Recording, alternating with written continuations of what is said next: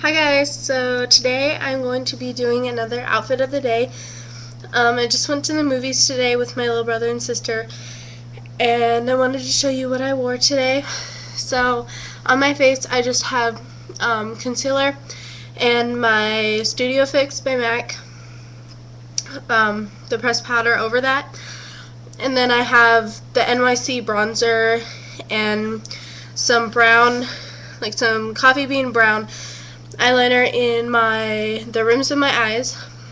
My hair is just down and natural.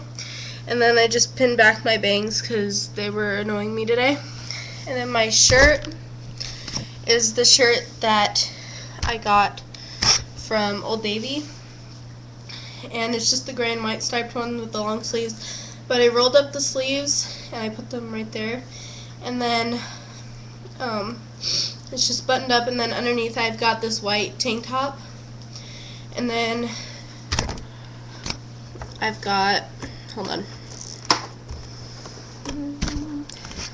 I've got my jeggings that I got from Target. They were $10.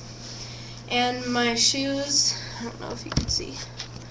My shoes are from Ross.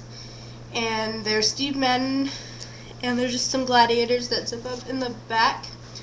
Okay, so, and then for earrings, I had my gold studs in, or the gold square ones. I just took them out because I'm just at home. So, that was my video, guys. Oh, and on my toes, I don't know if you saw. Okay, so I have Mint Sorbet by Sally Hansen. Okay. So, bye guys.